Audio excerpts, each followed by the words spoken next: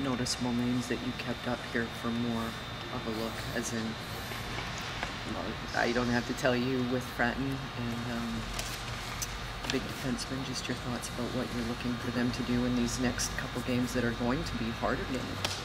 Well, once again, as as the exhibition season ramps up, now we're getting down to closer lineups. I mean, Buffalo last night had virtually their entire lineup other than two players, so it's a better test for the guys to see them in that environment. And the players are dictating this as much as you would say, you know, are you deciding who plays the games? Um, they're deciding who plays the games and who plays well, and that dictates if they get another shot. But some people are making decisions very difficult for us right now, which is the beauty of depth in an organization. This is this is what we want. We want it to be really, really difficult to decide who gets to be on the Toronto Maple Leafs. That means we're a better hockey club. Do injuries at all, or guys getting healthy, also impact who you may have decided to, you know, keep uh, in who and stick around? Or I don't think today that had any factor at all. No, on an overall basis, I think we're relatively good. There's always, I mean, guys are always dinged in training camp at various points, but uh, but sometimes they don't get an opportunity. They may have been slated to play an exhibition game, and for whatever reason they're not available that night. Doesn't necessarily mean they're going to get back in, and that's just the way it rolls. Were some of the guys you talked to today um, taken aback by the news, or were the people that were cut today generally probably saw it coming? I don't think anyone would like to tell you they saw it coming, and we don't want people to be happy with it. I mean, we really don't. Mm. You, you want them to be disappointed. Their goal is to be a Toronto Maple Leaf, and you want them to be disappointed when they're told that day they're not. But they've also got to understand it's a process. And the beauty of having the Toronto Marlies in town here is we get to see them play a lot. And now the challenge is up to them. It really is up to them to decide what happens next. And, you know, Wilson and I talked to them in pretty good detail, some of them, about exactly what we felt and what had to be done. And it's very encouraging because you're talking to the number of players we're talking to this morning have very bright upsides. And while there's still work to do, there's a great chance they're going to be a part of it. Were there emotional scenes up there? Uh, I think it's always emotional. I think guys are pretty professional about it. And yet, you know, th- this is a difficult, difficult part of it. And yet, they've been through it. I think virtually everyone that's played the game has been cut at some level.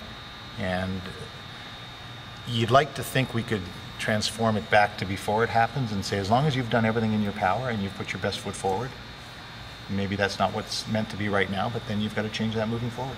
How far away is Colborne from being in this 29 man conversation as opposed to going back to the Marlies today? And what does he have to work on? That'll be up to Joe. Yeah. You know, I think more complete. Uh, you know, he played four exhibition games, he played well in spurts. Um, but he has to get more consistent. He knows that. And as is with the case with most young players, they have to get more consistency. There's a lot of people that can play this game for a game or two or three or four, but to play it over the course of a season and be consistent in that is what it takes to be a regular in this league.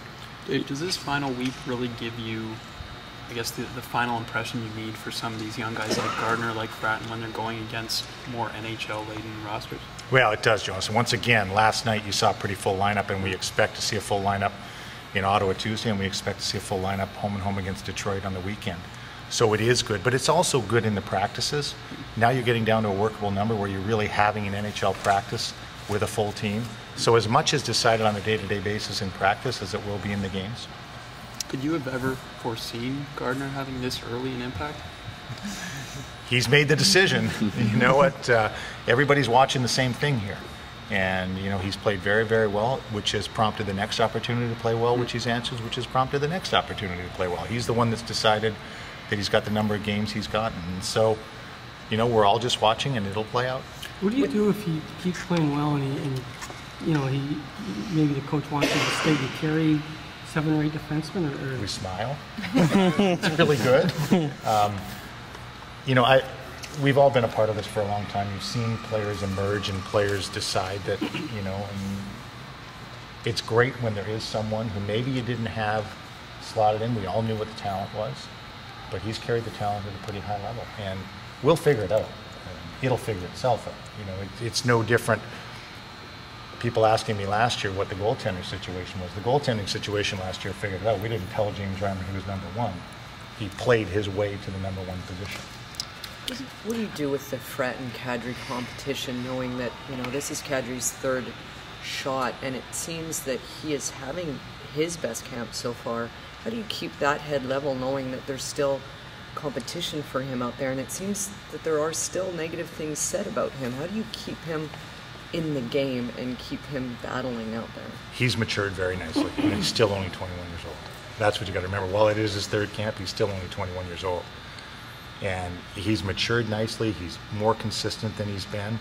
And, and that battle is playing itself out. You know, we're not making that. And they've played with different players, they've played in different situations. And, uh, you know, they've got another week and a half for it to finish off. And, and even at that point, whatever happens at that point, it's not permanent. You know, if you look at the way we started the year and, and the changes that were made through the course of the year as we continue to get better last year, the starting lineup on opening night, there's still a lot of competition happening from that point forward. But the soft side of hockey that you talk about a lot and about the Kadri aspect, you, how do you keep him from not getting down when he's doing pretty much everything he can do at this level that you've asked him to do? And he's still getting, you know, beat down on that third line. Yeah, I don't think he's getting beaten down at all. You know, he's played well in, in some spurts and, and, you know, he's had a good camp.